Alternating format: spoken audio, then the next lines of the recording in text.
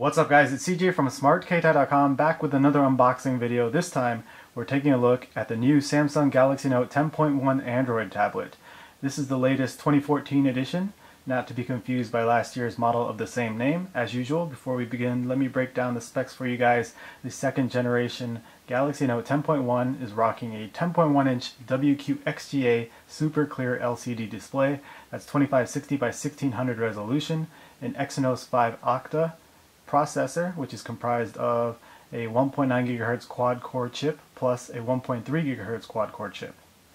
It's also equipped with 3 gigabytes of RAM, up to 64 gigabytes of internal storage with micro SD expandability, an 8 megapixel rear camera, 2 megapixel front facing camera, an 8220 milliamp hour battery, an improved S Pen stylus, a textured back cover with stitching, and Android 4.3 Jelly Bean with Samsung's custom TouchWiz user experience. So lots of features here. Alright, I've been waiting for this tablet for quite a while. Been waiting to check it out, so let's go ahead and get started.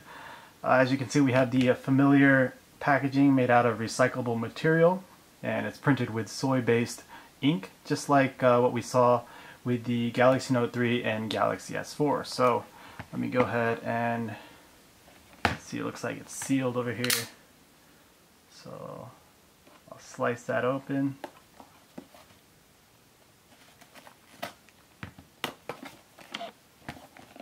Other side too. Alright. There we go. And there it is. The Note 10.1. Now I got the uh, 32 gigabyte Wi-Fi model in black, but uh, it's also available in white and the 32 gigabyte version is priced at $600 16 gigabyte is $50 less. So let's go ahead and pull the tablet out first. Wow this feels pretty light in hand. Feels sturdy. Let me push it off to the side. See what else is in here. So we've got our manuals and I believe there's also a uh, gift card for the Google Play Store in here, which is nice. You have your USB to micro USB charge and sync cable with the uh, usual Samsung power brick. Don't need to look at that too long. And then you have some extra nubs for your S Pen and then also a clip. So that's it, that's in the box put that away. And we'll bring the Galaxy Note 10.1 back into the picture here. Looks like we have a protective film on that display. Very nice tablet. Let me go ahead and peel the plastic off of the sides, also the back.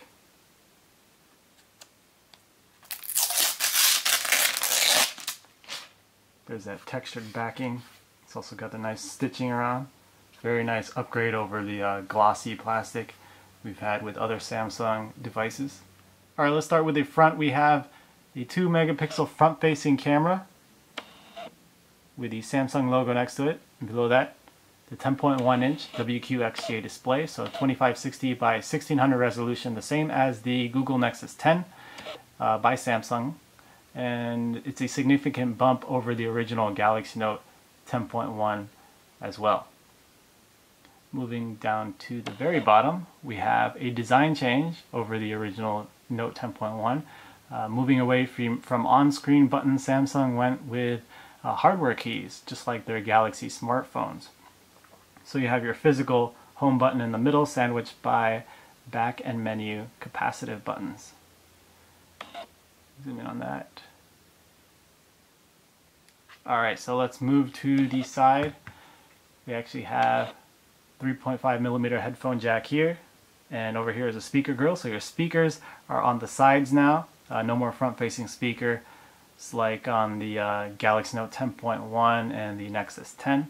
I have to see uh, what kind of change uh, that entails because I enjoyed the uh, front facing speakers on my Nexus 10. So hopefully it won't uh, be too much of an issue. You'll notice we have a chrome plastic look around here. It's not metal or aluminum or anything like that.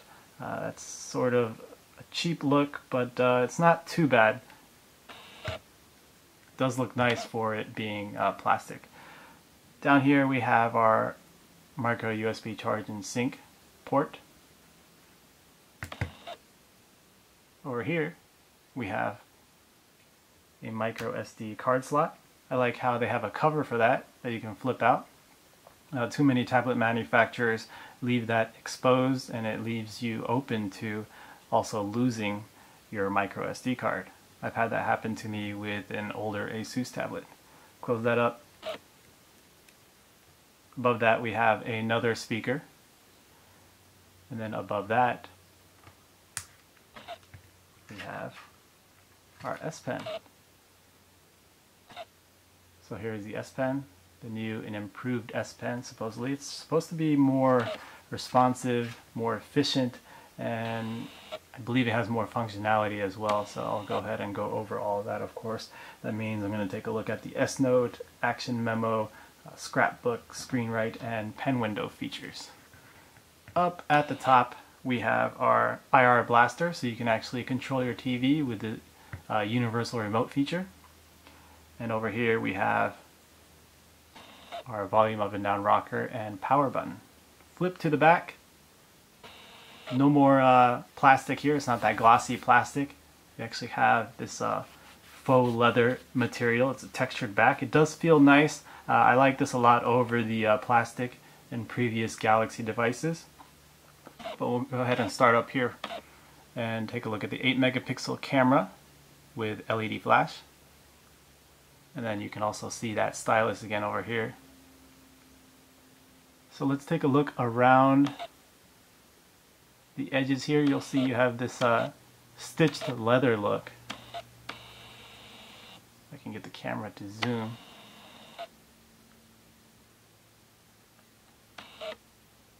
So very nice. I do like this. Hopefully it doesn't get uh, dirty or messed up over uh, regular use over like six months, but I'll have to see how that goes. Alright, let's conclude the unboxing with a quick overview of the software. I won't be able to cover everything, so stay tuned for a follow-up video with a detailed software review. I might have to make that uh, a two-parter, but let's start over here with the notification window shade. You can see we have a bunch of togglers up at the top. You can expand those to show even more and then edit to reorder them. Back out, I'll click show here.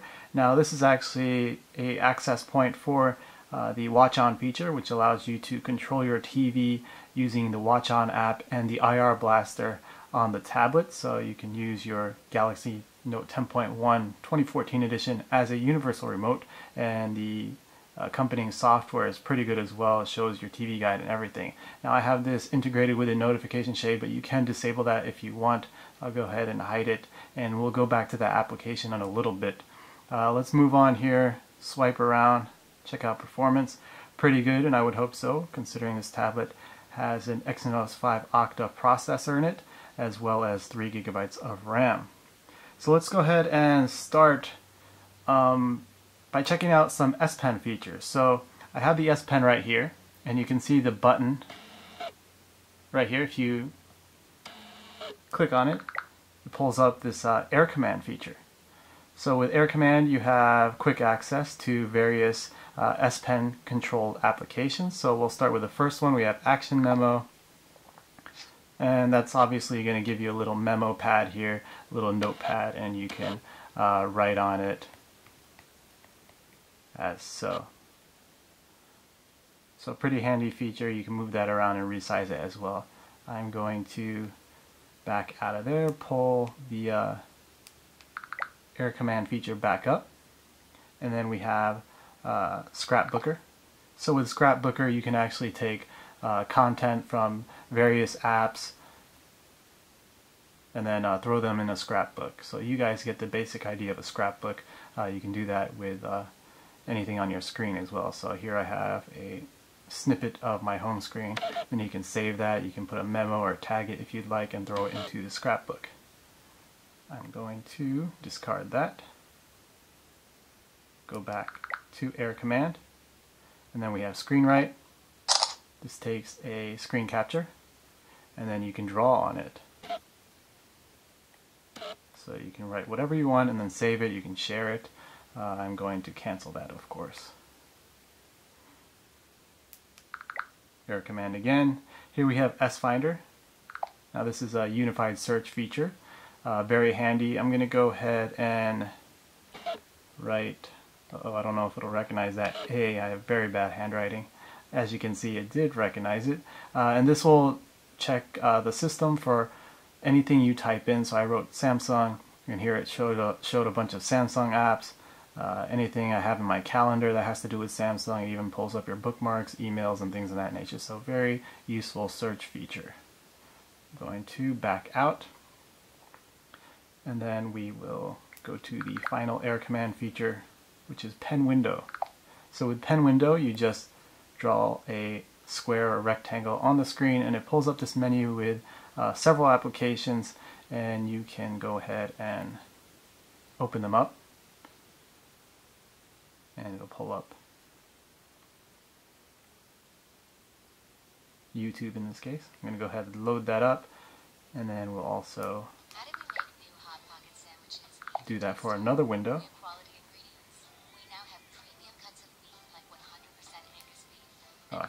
To draw the uh, square here.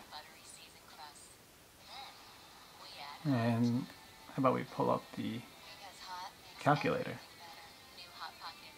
So you can see I have YouTube in one window, calculator in another. Maybe if you're watching a, uh, a math lecture or something, you want to do some homework at the same time. I don't know what kind of scenarios you might want to do, but uh, it could be a useful feature. It is showing some uh, multitasking uh, ability with this tablet. So very nice. I'm going to X out of here. Oh yeah, before I leave this one, let me show you. You can minimize it into this little bubble and navigate wherever you want, whether it's in here or different home screen or while you're web browsing, and then quickly access it again as so. So you don't have to completely close out of it like that if you want to uh, come back to it in a couple of minutes. Alright, moving on, let's go ahead and pull up S-Note. So S-Note is a very handy feature that you're probably going to want to use with this tablet. Uh, it's a note-taking application. You have various templates. For example, here I have a weekly planner template. Let's go ahead and edit this one. Uh, I have to say the uh, S Pen is very precise, uh, very responsive, doesn't seem to lag, uh, maybe just a little bit but not too bad. This is probably the best uh, tablet pen experience I've had to date. I'm very much enjoying it and I can't wait to use it in my uh, daily life. So let's go ahead and back out of here. That's one template. Here's another one just to show you some diversity. You have to edit. Now in landscape it may look a little bit zoomed in, but if you go ahead and switch over to portrait, uh, you'll actually see that it, gives you a, a, normal sized view. So that's probably what you'll want to do if you're taking a bunch of notes in class. Uh, let's back out. I'm going to discard again. And scrapbook. I mentioned that earlier where you can drop off some of your uh, snippets from various content back out of here. Uh, we have Samsung's apps. So this is Samsung's App Store. Samsung Hub. So you have access to music, whoops, music, video, books, games, uh, basically an entertainment hub. And then Watch On, I mentioned this earlier. So this is connected with uh, my uh, cable information so I can pull up my TV guide without having, having to uh, invade my TV screen. I can find a TV show I want to watch and then once I find one I just press watch on TV and it'll flip the channel for me. So very useful feature. There are some uh, other functions here like your favorites, timeline, and searching by genre. And then you have on-demand access as well. So uh, it seems like a good feature. I tested it out for a little bit and it does work well uh, and it doesn't seem to lag too much. So once you press a certain channel, it'll go right to that and then you have your remote functions as well. Back out of here, some more TouchWiz features. We have multi-window, of course. Now this was useful on the last Galaxy Note 10.1, so let's check it out on the 2014 edition. So if you just take any two apps from here, let's go ahead and how about we pull up YouTube.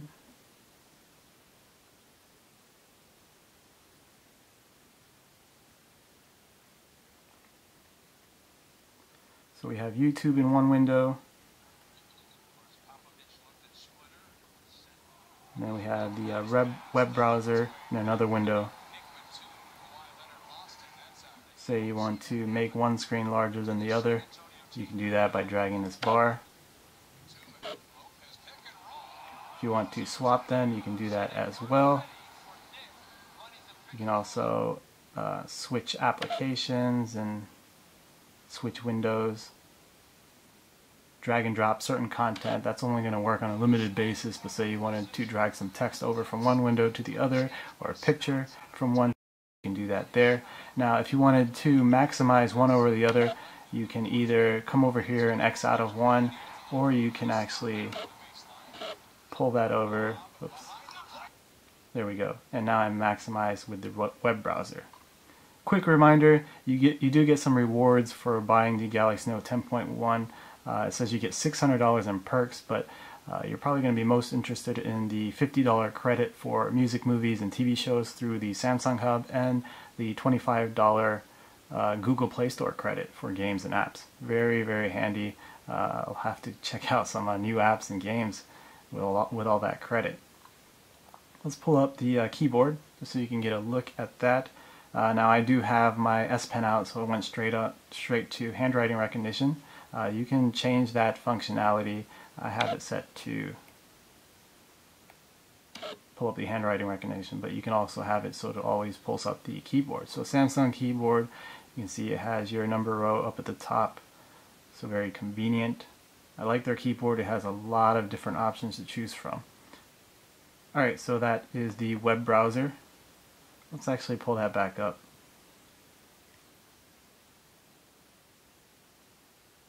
Browse the net for a second, show you how that looks.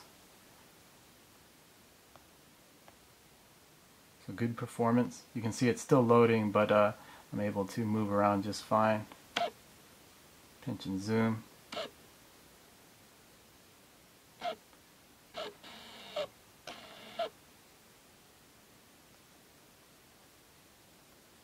See?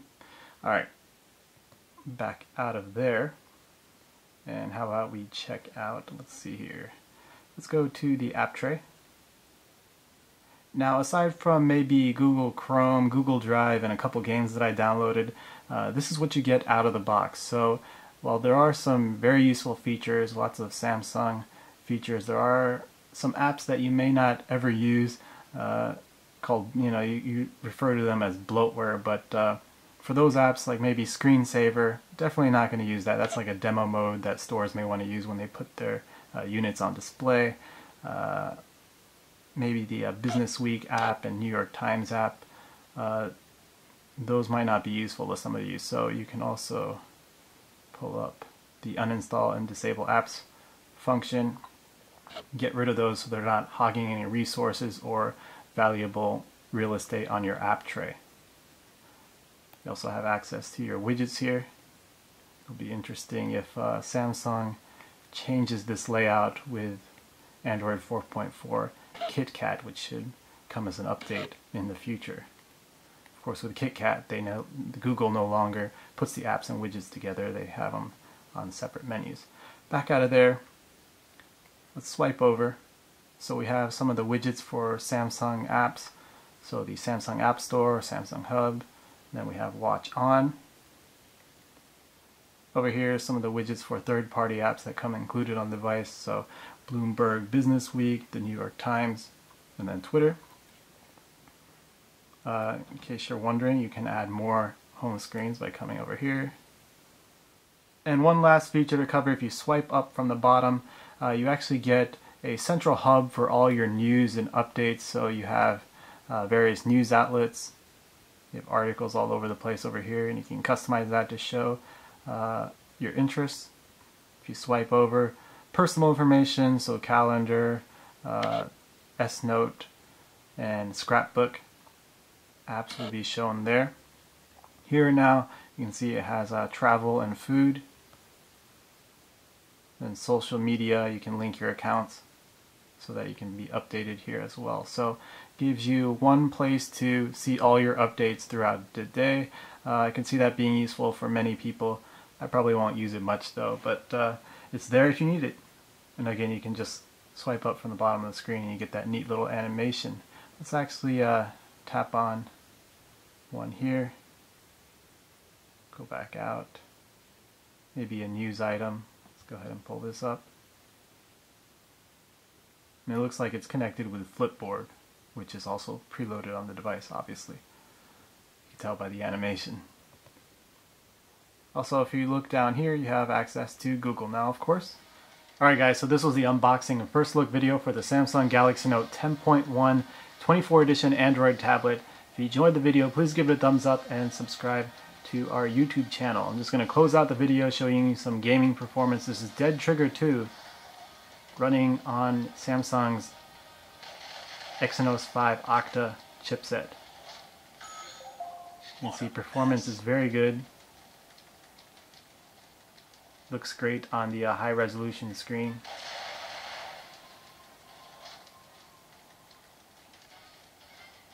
Alright, so I'll see you in the next video.